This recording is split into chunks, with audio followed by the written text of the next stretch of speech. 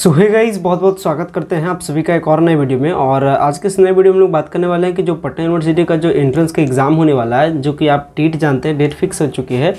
और इसका जो डेट है वो है सत्ताईस एवं अट्ठाईस मई को। अभी आपका डेट है तकरीबन, आज अभी आपका बारह अप्रैल है, यानी कहने का मतलब अभी अगर मैं फासलों के बारे में बात करूँ तो लगभग आपके जो टाइम है वो आपके फोर्टी फाइव डेज़ के आसपास रहते हैं। और आपको ज़रूरत होती है एक परफेक्ट स्ट्रैटेजी की कारण है कि आपको पता है, ये जो पटना यूनिवर्सिटी के एडमिशन की जो पूरी प्रोसेस है, वो डिपेंड करती है आपके एंट्रेंस एग्ज़ाम के हाई स्कोरिंग पे। अगर आपका एक अच्छा खासा हाई स्कोरिंग मार्क्स होता है, फिर तो आपको एडमिशन लेने में किसी भी प्रकार का दिक्कत नहीं होता है।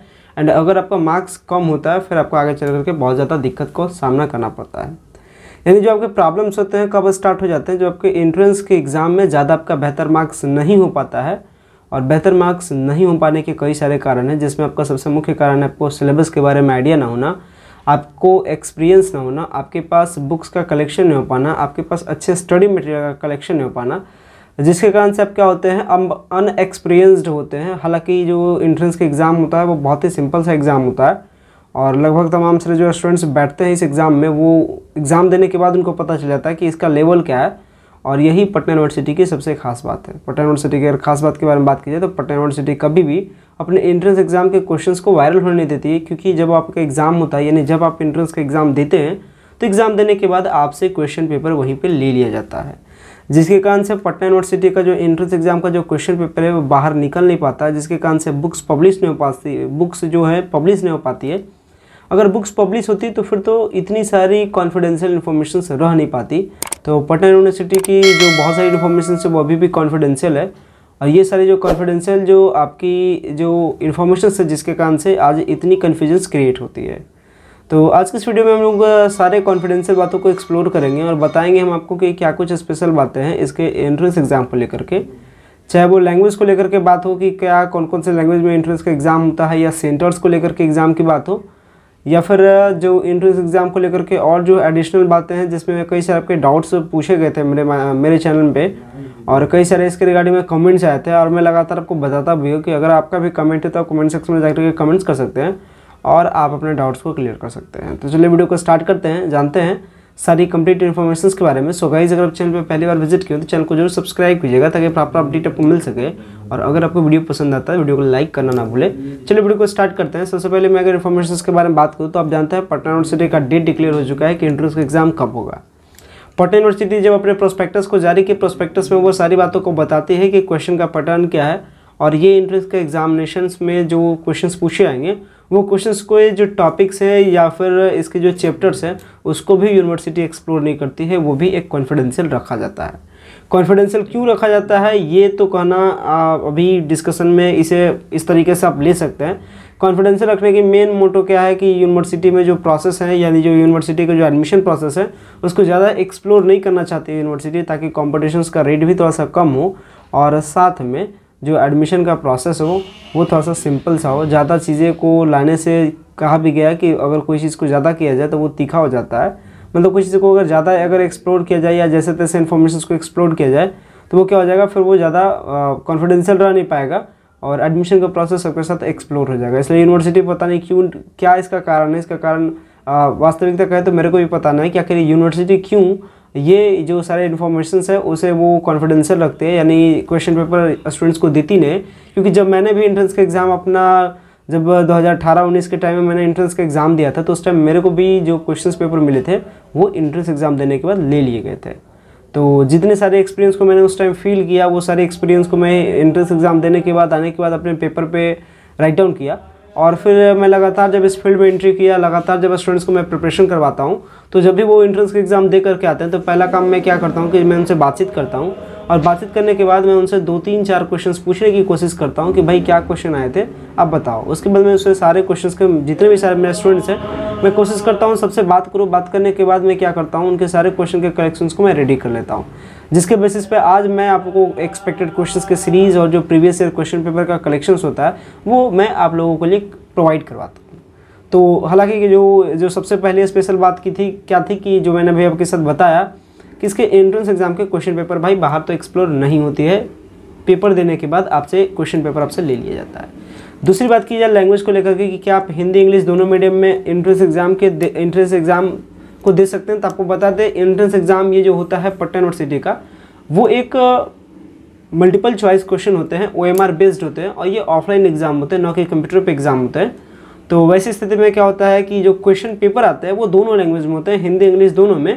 यानी it means the question paper will be available in English medium as well as Hindi medium यानी हिंदी इंग्लिश दोनों मीडियम में होता है। अगर स्टूडेंट्स बिहार बोर्ड के हैं या फिर अगर students C B S E या I C S C board के हैं, या अगर स्टूडेंट्स नॉर्मली कर सकते हैं स्टूडेंट है जो जो हिंदी हिंदी को समझता है इंग्लिश को नहीं समझता है तो वो क्या कर सकता है कि हिंदी के क्वेश्चन को पढ़ करके सीधा मार्क कर सकता है अपने ओ एम आर सीट पर और ओ एम आर पर जब आपको मार्क करना होता है तो आप एक ब्लैक पेन ले जाइए। ब्लैक पेन ले जाकर क्या करना है? ओ एम आर को सर्कल करना है। और जब आप अपने बोर्ड की एग्ज़ाम दिए होंगे, अगर आप बिहार बोर्ड के स्टूडेंट्स होंगे, तब तो आपको सही तरीके से पता होगा कि ओ एम आर को कैसे रंगते हैं। क्योंकि आपने क्लास ट्वेल्थ के एग्ज़ाम में ओएमआर को बहुत रंगा है ओएमआर के बहुत सारे क्वेश्चन को सॉल्व किए तो ये सारी बातें तब को पता ही होगी। तो आपको क्या करना है? एंट्रेंस एग्ज़ाम में ओएमआर को क्या करना है? रंगना है, यानी कलर करना है। और ये है आपका, इसका ऑफलाइन एग्ज़ाम का जो तरीका है। और जैसे आप ओएमआर को रंग दीजिएगा, इसके बाद ओ जैसे आपका जो वहाँ के इन्विजिलेटर होंगे, आपके हाथ से ओएमआर आपका लेंगे। ओएमआर लेने के बाद फिर आपके हाथ से आएँगे और क्वेश्चन पेपर भी आपके हाथ से ले लेंगे। तो एग्ज़ाम अपनी ऑफलाइन होती है ओएमआर बेस्ड होती है और आप ब्लैक या ब्लू पेन के ज़रिए से क्या करते हैं, आप बॉक्स को रंगते हैं और इस तरीके से आपका जो एग्ज़ाम है वो कंप्लीट होता है। वही अगर बात की जाए सेंटर्स को लेकर के कि आखिर इसके सेंटर्स कहाँ कहाँ जाते हैं, इसके एंट्रेंस एग्ज़ाम को लेकर के तो बता दें, जो सीट्स होती है पटना यूनिवर्सिटी में तकरीबन पैंतालीस प्लस सीटें हैं। और अगर इस पैंतालीस प्लस सीटों में से अगर उनके पास फॉर्म अगर आता है बीस हज़ार के आसपास, अगर फॉर्म आया बीस हज़ार के आसपास तो कहने का मतलब है कि बीस हज़ार से लेकर के अगर पचास हज़ार तक भी फॉर्म आता है तो ये कन्फर्म है कि पचास हज़ार तक फॉर्म आने के बाद ये जितने भी सारे स्टूडेंट्स हैं, जिनका एंट्रेंस का एग्ज़ाम होगा, वो अपनी पटना सिटी में ही होती है और इसके कॉलेजेज में होती है, साथ में कुछ डिफरेंट डिफरेंट कॉलेजेज में भी होती है। जैसे पटना के जो तमाम सारे कॉलेज हैं, आपके सेंटर्स वहाँ जाने की उम्मीद होती है। तो अगर एप्लीकेशन फॉर्म कम सबमिट होता है तो फिर पटना यूनिवर्सिटी कहीं कॉलेज में ही रह जाती है। और अगर एप्लीकेशन फॉर्म ज़्यादा सबमिट होता है तो फिर पटना के जितने भी सारे कॉलेज हैं, हर जगह जाने की उम्मीद होती है। तो यानी ऑल ओवर कर सकते हैं जिसका इंट्रेंस एग्ज़ाम का सेंटर है, वो पटना में ही जाता है आउट ऑफ़ पटना तो बिल्कुल नहीं जाता है। ये बात आपने समझ गया होगा कि आउट ऑफ़ सेंटर्स क्यों नहीं जाता है, क्योंकि यहाँ इतने फॉर्म सबमिट नहीं होते हैं। ऐसा नहीं कि लाख, दो लाख फॉर्म सबमिट होते हैं, जिसके कारण से क्या किया जाए आपके सेंटर्स को गया, बिहार और भागलपुर और पूर्णिया, मुजफ्फरपुर जैसे अलग अलग सेंटर्स बनाया जाए।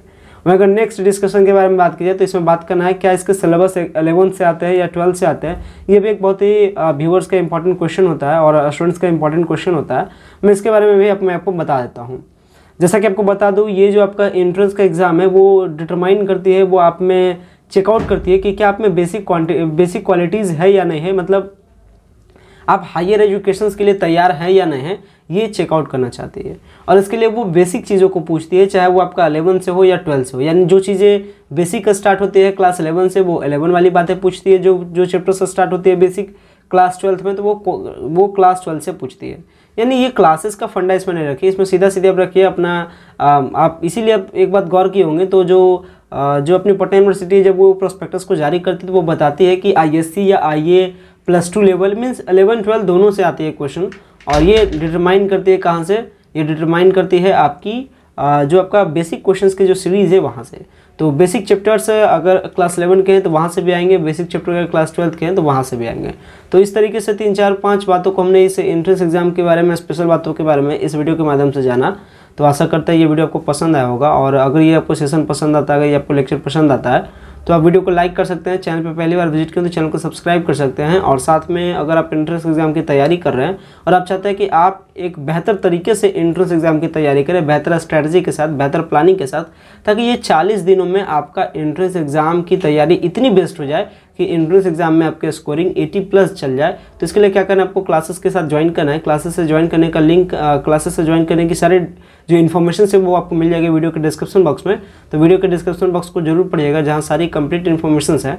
और अगर फिर भी इन शॉर्ट में अगर सिंपल सी बात की जाए तो अगर आपको क्लासेस से ज्वाइन होना रहता है आपको सो so, चलिए मैं आपको नंबर्स के बारे में बताता हूँ कि अगर आपको इन शॉर्ट अगर आपको डायरेक्टली टच होना रहे या फिर डायरेक्टली अगर आपको प्रीमियम सर्विसेज़ यानी क्लासेस को अगर आपको ज्वाइन होना है तो आपको कॉन्टैक्ट करना है nine zero six five one seven double nine two five पे। और इसके ज़रिए से क्या हो जाएगा, आपको मैसेज करना है मैसेज बताना है कि आपको क्लासेस से ज्वाइन करना है। इसके बाद आपको फर्दर डिटेल्स उस मैसेज के थ्रू आपको मिलेगा। इसके बाद आपको क्लासेस को ज्वाइन कर लेना है। अगर मैं बात करूँ क्लासेस के बेनिफिट्स के बारे में तो क्लासेस में क्या क्या बेनिफिट्स है चलिए हम लोग काउंट करते हैं। सबसे पहले बेनिफिट तो आपको क्लास मिलती है। दूसरी आपको मिलती है लाइव क्लासेस मिलती है रिकॉर्डेड क्लास के फॉर्म में मिलती है तो दो बेनिफिट अपनी हो गई। तीसरी बेनिफिट आपको स्टडी मटेरियल मिलेगी। चौथे बेनिफिट है कि डेली क्वेश्चन के प्रैक्टिस सेट मिलेंगे। पाँचवीं बेनिफिट क्या है? कि आपको इसमें मिलता है प्रॉपर स्टडी मटेरियल इसके बाद छठे बेनिफिट क्या है? आपको मिलती है एक्सपेक्टेड क्वेश्चन का सीरीज़ तो ये छः सात आठ बेनिफिट आपके लिए बहुत ज़्यादा यूज़फुल हो जाएँगे। आपके एंट्रेंस एग्ज़ाम के लिए बहुत ज़्यादा यूज़फुल रहेगा। इससे आपको क्या होगा? आपका जो कॉन्फिडेंस लेवल है, वो डे टू डे आपका बढ़ेगा और आप एंट्रेंस एग्ज़ाम में बहुत बेहतर कीजिएगा। जितना जल्द से जल्द हो सके क्लासेस को ज्वाइन कीजिए। क्लासेस से ज्वाइन करने का मैंने आपको सारे डिटेल्स भी के बारे में बताया कि क्लासेस से जुड़ने के सारा डिटेल्स आपको वीडियो के डिस्क्रिप्शन बॉक्स में है। या अगर आपको उतना कुछ नहीं भी करना है तो सिंपल से आप nine zero six five one seven double nine two five पर डायरेक्टली मैसेज दीजिए। प्रीमियम क्लासेस के चार्ज को पे कीजिए और क्लासेस जितना जल्द हो सके ज्वाइन कीजिए, क्योंकि अभी क्लासेस, अभी स्टार्ट बहुत सारे फैकल्टीज़ का नहीं हुआ है। क्लासेस आपका स्टार्ट उम्मीद है कि पंद्रह से पहले कर दिया जाए, पंद्रह से ही स्टार्ट किया जाए। इसलिए आपके पास दो तीन चार दिनों का आपके पास टाइम है, बस आपके पास अब तीन दिन का टाइम है।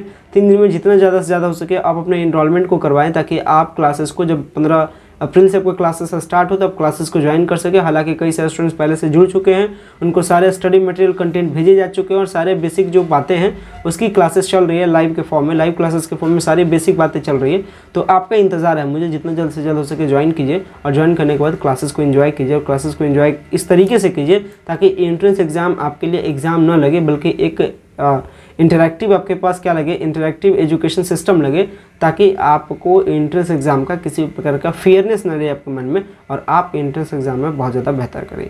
आशा करते हैं ये जो सारी मैंने आपके साथ डिस्कशन किया या डिस्कशन आपको पसंद आया होगा, वीडियो को इन करते हैं। Thanks a lot for watching this very important video